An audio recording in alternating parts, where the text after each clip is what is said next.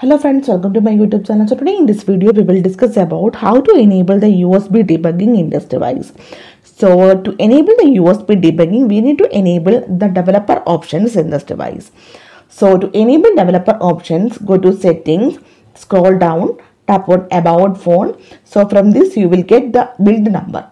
Tap on seven times on the build number to enable the developer options. So you can see you are now a developer. Now go back, tap on system, tap on advanced. Here you can see the option developer options. Now the developer options is enabled in your device. So from this developer options, you will get lots of options. You can easily enable or disable these options here.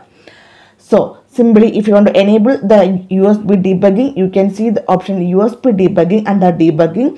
To enable this one, turn on this one. Tap on OK. That's it.